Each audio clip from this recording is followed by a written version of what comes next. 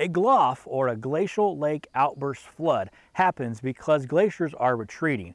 Where there was a basin, or a geographic bowl essentially, that was full of ice, was now allowed to be filled with water instead. And the leftover glacier acts like a dam that keeps the water in place. But there will come a point as the glacier retreats that the water is allowed to escape. Now, are GLOFs unique to Juneau? No. These actually happen all over the world, but it's uncommon for these GLOFs to impact communities, which is why the situation here with the Mendenhall here in Juneau is so unique. Now, there are several ways that water can escape from the basin. One way it can go is over the top, which is called overtopping, or it can penetrate through the great glacier, and in a sense, it can actually go under the glacier.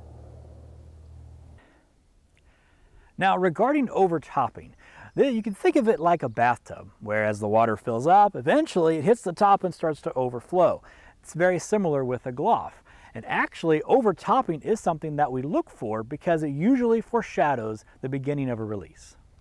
Regarding subglacial release, well, draining begins when a weak spot forms in the ice dam and the water starts to flow through it, creating a channel in the ice.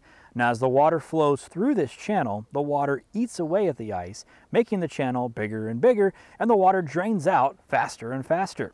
Now, there will come a point when the water pressure in the basin decreases so much that the weight of the glacier overcomes the pressure from the basin, and the ice dams the water back up, and so the water stops flowing out. Now predicting when the water will stop flowing out is what makes GLOF forecasting so difficult because we can't really predict when the glacier will stop the water from flowing out again. Coming up in the next video, we'll talk more about the two types of dam releases.